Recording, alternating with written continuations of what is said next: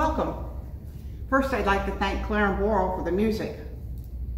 Welcome to our Ascension Day service of worship. This is a holy day for Christians around the world. It commemorates the Christian belief of the bodily ascension of Jesus into heaven. It is one of the ecumenical and universally celebrated feasts of the Christian churches, ranking up there with Christmas and Epiphany and Easter and Pentecost. Ascension Day is traditionally celebrated on the Thursday, and it's the 40th day of Easter. And we get this day in the accounts of the Gospels of Mark and Luke and the book of Acts. In the United States, Christians celebrate Ascension Thursday. But in other countries and other parts of the world, Ascension Thursday begins a four-day weekend of celebration, similar to our Thanksgiving weekend. Jack and I have lived overseas, and we've witnessed this celebration and this holy day on both sides of the pond. Join us now as we celebrate Ascension Day. The Lord be with you. Let us pray. Grant, we pray, Almighty God, that as we believe your only begotten Son, our Lord Jesus Christ, who have ascended into heaven, so may we also in heart and mind there ascend, and with him continually dwell, who lives and reigns with you in the Holy Spirit, one God, forever and ever. Amen. Prayers of the People adapted from Ascension Episcopal Church. Uniting ourselves to God's love for the church and the world, let us pray to the Lord saying, Jesus, help us love others as you love us. We pray for the world, for justice that brings peace, for our stewardship of creation, for the unity of all peoples. Let us pray to the Lord. Jesus, help us love others as you love us. We pray for our nation, for a government and a people who care for the least of these, for the hungry, for the homeless, and for those in prison. For our president, our legislators, and our courts, let us pray to the Lord. Jesus, help us love others as you love us. We pray for the church, for Michael, our presiding bishop, for John, our bishop, for our diocese, its clergy and people, that it may be filled with truth and love and be an instrument of grace in the world. Let us pray to the Lord. Jesus, help us love others as you love us. We pray for our community, May our eyes be open to truly see you in our neighbors, and our ears open to hear the cries of the poor. Let us pray to the Lord. Jesus, help, help us love others as you love us. We pray for those who are sick, those who suffer, and those in any kind of trouble. We pray for their families and friends, and for those who care for them. We pray for those who have died, that they may rest in peace and rise in glory. Let us pray to the Lord. Jesus, help us love others as you love us. God of love, you lived and died as one of us, so that we might have life and have it in abundance. Be with all persons and all those who will come to know your love more fully. Give them an inquiring and discerning heart, the courage to do your will and to persevere, a spirit to know and to love you, and the gift of joy and wonder in all your works. Amen. The Gospel of Luke. Then Jesus said to them, These are my words that I spoke to you while I was still with you that everything written about me in the law of Moses, the prophets, and the Psalms must be fulfilled. Then he opened their minds to understand the scriptures, and he said to them, Thus it is written that the Messiah is to suffer and to rise from the dead on the third day, and that repentance and forgiveness of sins is to be proclaimed in his name to all nations, beginning from Jerusalem. You are witnesses of these things, and see, I am sending upon you what my Father promised. So stay here in the city until you have been clothed with power from on high. Then he led them out as far as Bethany, and lifting up his hands, he blessed them. While he was blessing them, he withdrew from them and was carried up into heaven. And they worshiped, worshiped him and returned to Jerusalem with great joy. And they were continually in the temple blessing God.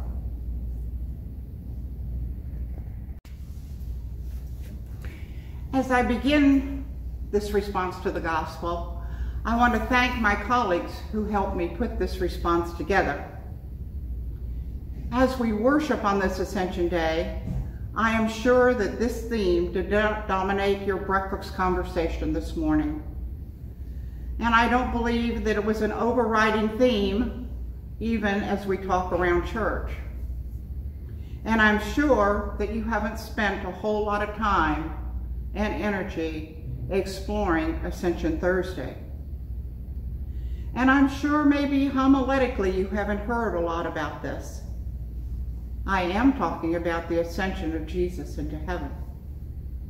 If by chance it rings a bell, it is probably from our creedal words, which are, and on the third day he rose according to the scriptures and ascended into heaven and sitteth at the right hand of the Father. But before you turn Facebook off today, if you were thinking that this theme has nothing to offer you to enrich your soul, please listen on. Let me say that Ascension does make a contribution. It does say something, and it says something to our hearts and something that will bring us into a closer relationship with God.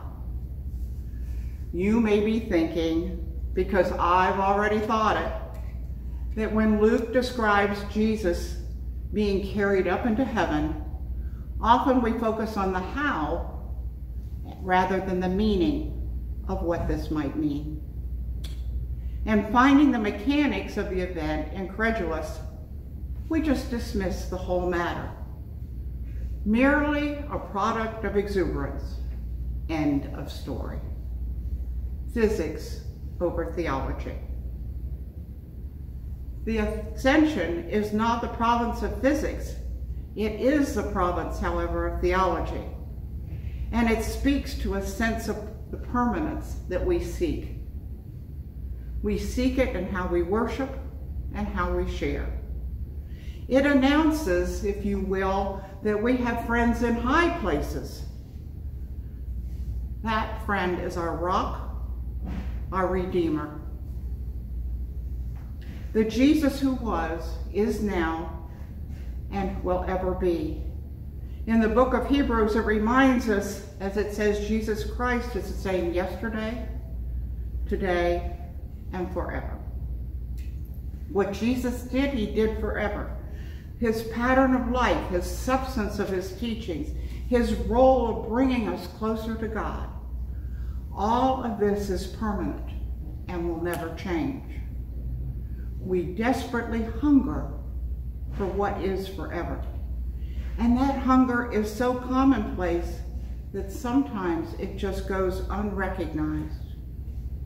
What we hunger for is this permanence in God's eternity. Sam Miller once wrote an essay titled, Beginning Eternity Now.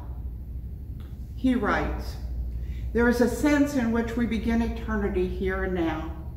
It is not something that we will easily add on to the end of our life when we die. Eternity is mixed invisibly with the stuff of the earth. With every new coming of springtime across the earth, some will continue to live the old, old life, they continue to live while others will see an amazing stuff that we call the soul that shines with potential surprises. able to begin again no matter how far it has gone, stretching itself towards peace, which is only known in the endless dimensions of God's eternal purpose. End of quote. Luke tells us the disciples returned to Jerusalem with great joy, and they were continually in the temple blessing God. To us, to gather regularly for public worship, to sing our praises to God, makes perfect sense. Because if we fail to worship God here, we will worship at some other altar. If we do that, it is guaranteed that eventually we will give in to the most profound of disappointments. We are, by our very nature, worshiping people, and there is no end to the golden calves which we are willing to idolize. Said differently, we will regularly make our way to one temple or another. Of this, you can be certain. You and I know about those golden calves, which tend to seduce us. Money, cars, houses, bank accounts, you name it.